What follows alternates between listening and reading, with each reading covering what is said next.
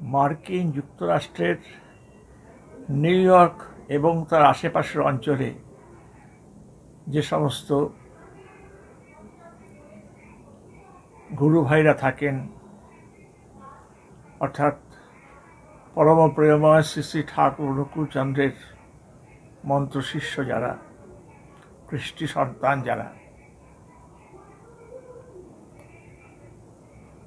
তাদেরই সংগঠন হচ্ছে সৎসঙ্গ এনওআইসি ইউএসএ আগামী পবিত্র দৌড় উৎসবে তারা একটি উৎসবের আয়োজন করেছেন। রঙের উৎসব, বসন্তের উৎসব। আমি তাদের সঙ্গে থেকে দেখেছি একসময়। তাদের নিষ্ঠা, তাদের ভক্তি। ঠাকুরের প্রতি তাদের আনুগত্য প্রশ্নহীন। হয়তো অনেক কিছু তারা জানেন না কেননা দূরে থাকেন। তা সত্ত্বেও তারা যেভাবে ঠাকুরকে বুকে ধরে রেখেছেন, যে আন্তরিকতার সঙ্গে তারা অনুষ্ঠানাদি করেন সেগুলো আমার কাছে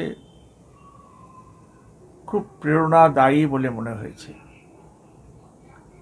তাদের এই আগামী দৌড় উৎসব ঠাকুরকে নিয়ে তারা মাতোয়ারা হবেন, নতুন করে নিজের আবিষ্কার করবেন আর বারংবার এই সমস্ত ছোটোখাটো অনুষ্ঠানের ভিতর দিয়ে আমরা ঠাকুরের সঙ্গে আমাদের সম্পর্ককে রিনিউ করি। পুনর্নবীকরণ করা হয়। খুব দরকার এটা।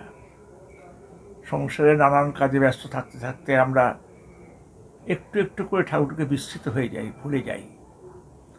বারবার বারবার তাকে মনে করানোর জন্য কিছু অবলম্বন দরকার হয়।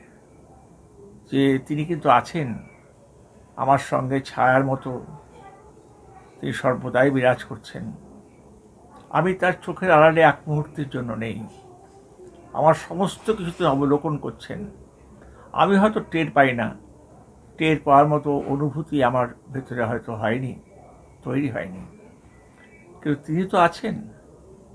তিনি আছেন সেই বিশ্বাস নিয়ে যদি আমি চলি, তাহলে আমাদের এক একজন এই পরমার্থ ভ্রাতার জীবনে অনেক ঐশ্বর্যের দ্বার করে যাবে। ঐশ্বর্য মানে জাগতিক ঐশ্বর্য নয়, মনের ঐশ্বর্য। ভক্তি, জ্ঞান, নির্ভরতা, বিশ্বাস, এইসব। আমি তাদের আমার আন্তরিক শুভেচ্ছা জানাই। পরদয়ার ঠাকুর তাদের সহায় হন। তাদের উৎসব আনন্দ মুখরিত হোক, উৎসের মুখ খুলে যাক। জয় গুরু। বন্দে পুরুষোত্তম।